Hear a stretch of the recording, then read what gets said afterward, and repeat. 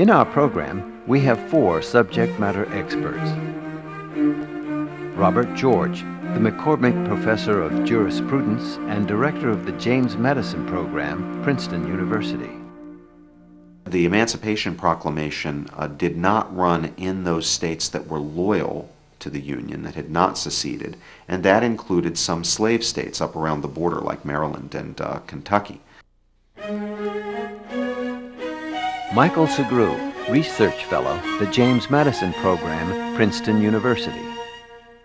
It's short and it's direct, and he says that the blood of these men that have died at Gettysburg um, is testimony to how fully Americans have bought into a certain conception of what America is.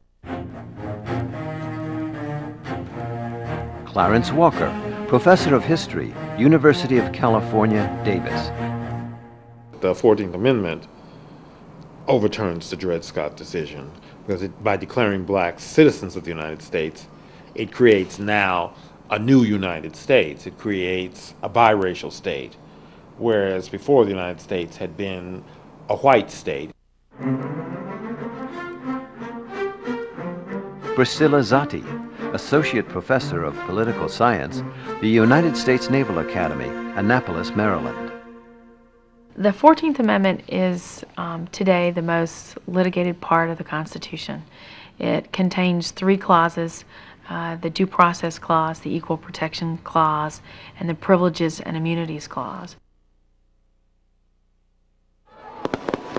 The Homestead Act, the Pacific Railway Act, and the Morrill Act, 1862.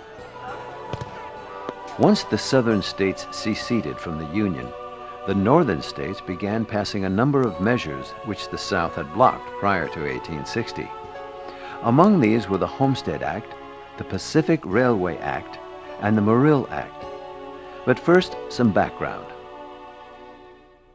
The winter of 1860 saw Abraham Lincoln elected as our 16th President of the United States.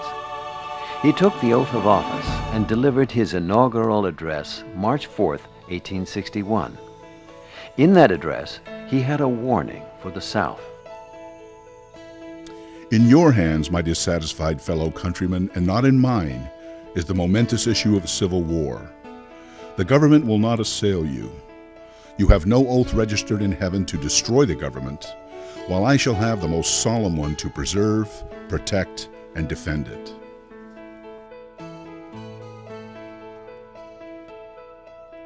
Just weeks later, the southern states began to secede from the Union. War came in April of 1861.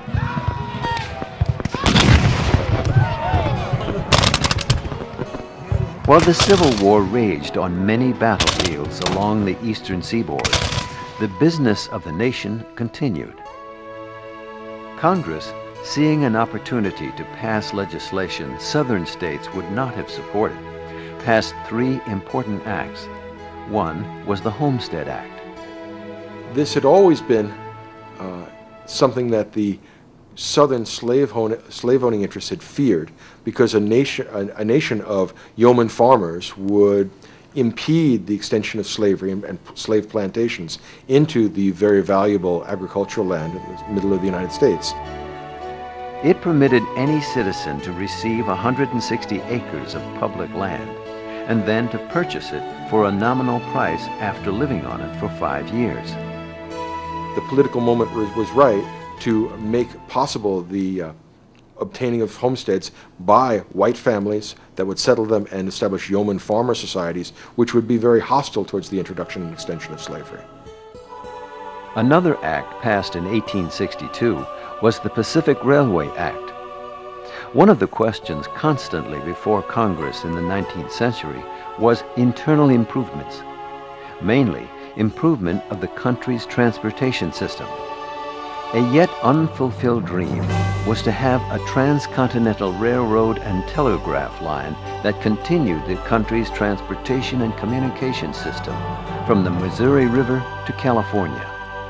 This act paved the way well, giving away other people's land is actually a fairly easy thing to do. In other words, since there are very few American citizens there and their land titles are very sketchy, um, it's fairly, it's relatively easy for the federal government to decide that they would just move the Indians out of the way and uh, acquire the land by a claim of eminent domain. The railroads employed many immigrants to do the very difficult manual labor.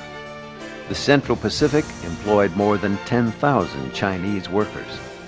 The work was backbreaking and took six years to complete. Finally, in 1869, in a ceremony at Promontory, Utah, just north of Salt Lake City, the last rails were laid and a golden spike was driven in the completed track. By the time the rail lines were completed, Congress had granted 174 million acres of public land for railroad rights-of-way. The third important act passed in 1862 was the Morrill Act, named for the Vermont Congressman Justin Morrill, who introduced the measure. This law made it possible for the new western states to establish colleges for their citizens most of higher education was seen as very elite, very Ivy Leagueish, and it really brings education to anyone. It becomes very affordable and allowable for many Americans to go uh, to higher university. Ever since colonial times, a good education has been a central theme in American democratic ideals. The colonization process included the establishment of some of our oldest colleges, Harvard in 1636, William and Mary in 1693, and Yale in 1701. In the state of Texas, where I'm from, land grant colleges have been the great equalizer. And even today, the number of students that are first generation college that go to these large land grant institutions and the tuition is low and the, the level of instruction is high, they're wonderful. And, and they've made such a difference in allowing people to get an affordable college education. The Emancipation Proclamation, 1863. Prior to signing the Emancipation Proclamation, President Abraham Lincoln signed into law legislation that in July of 1862 authorized African American slaves to serve in the military of the Union States. This was a stepping stone to the Emancipation Proclamation. Now, there's a question about whether Lincoln was operating within his constitutional authority in freeing the slaves in the rebellious states with the Emancipation Proclamation. The argument against Lincoln is straightforward. Nowhere in the Constitution is the president or indeed the entire federal government, given any authority to abolish slavery. There's no delegated power that would permit the national government to interfere with slavery in the states that wish to have it. Lincoln realized he did not have the constitutional authority to free the slaves. So where did he look for this constitutional authority? He claimed the constitutional authority to issue the Emancipation Proclamation under his war powers. He said that this was an act that was uh, required in wartime to disable an enemy that was waging war against the United States, and that was the justification. Lincoln does not end slavery with the Emancipation Proclamation. It, it frees very few slaves. It allows those in, in territories of the national government to uh, allow them to fight freely in the Union forces if they desire. So its impact is is minimal at the time, but I think its message is is what's important about it. That it, it sends the message that there is an equity issue here that will eventually be resolved. And I think Lincoln's sense of fairness that blacks should be treated the same as whites uh, is the view that prevails. And I think that's why it's such a significant document. He began to make it clear in the first inaugural address what he was prepared to fight for. And by the time of the Gettysburg Address, he really had, I think, made it clear what he was fighting for. He was fighting not simply to preserve the Union, he saw more at stake than that. The original position of Abraham Lincoln on the Civil War was that it was a war to preserve the Union and not destroy slavery. that if Lincoln could have brought the southern states back without disestablishing slavery, he would have. It's only over a course of three years of hard struggle that emancipation becomes the central focus of Northern military concerns and concerns of the Union. He saw in the United States the one hope for mankind of establishing the principle of Republican government, what he would call in the Gettysburg Address government of the people, by the people, and for the people. Lincoln needed some impressive Union victories over the Confederacy first before issuing the Emancipation Proclamation.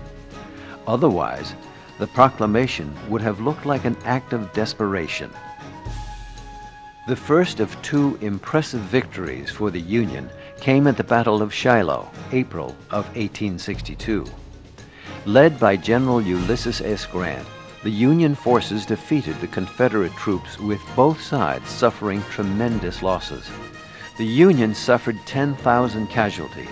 The Confederate side suffered 13,000 casualties. The second victory for the North came at Antietam in Maryland, September of 1862. Again, casualties were heavy.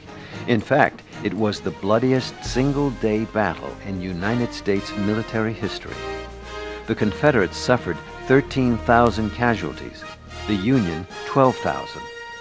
The battle stopped a major Confederate offensive led by General Robert E. Lee, and it raised hopes for victory in the North. Lincoln now had his opportunity to issue the Emancipation Proclamation.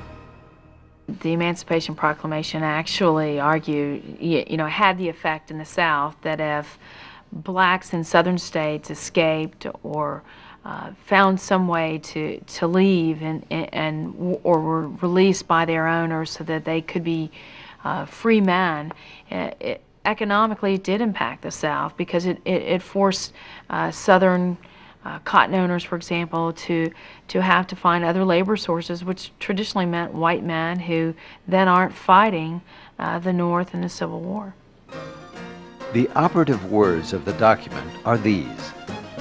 All persons held as slaves within any state or designated part of a state, the people whereof shall then be in rebellion against the United States, shall be then thenceforth and forever free. Had the war ended, had there been uh, a truce, uh, had Lincoln lived, what would the status of the Emancipation Proclamation have been? The proclamation says that in those states in rebellion, the slaves are free not just for the duration of the war, but forever. But how can that be constitutionally permissible? Once the war is ended, obviously there's no military need to continue the abolition of slavery. So wouldn't slavery have come back constitutionally? Wouldn't some people perhaps have been re returned to a status of, uh, of slavery? Of course, in the end, tragically, President Lincoln was uh, assassinated, uh, and the matter was uh, handled by way of constitutional amendment. The 13th Amendment to the Constitution abolishes slavery throughout the United States. The Gettysburg Address, 1863. The Civil War raged on in 1863. Confederate General Robert E. Lee took the battle to northern soil when he led 75,000 troops into Pennsylvania. It was at Gettysburg that he clashed with two Union brigades led by General George Meade. Three days of fighting left a total of 43,000 young American men dead. One of the things that we have to understand about the Gettysburg Address is that it was delivered in circumstances of great sadness. President Lincoln had gone to Gettysburg, the site of an epic battle in which many, many lives on both sides had been lost, to dedicate a cemetery and to say something to the widows and uh, children of those soldiers who had lost their lives and to explain the cause of that sacrifice and the justification for the war. Four score and seven years ago, our fathers brought forth on this continent a new nation, conceived in liberty, And and dedicated to the proposition that all men are created equal.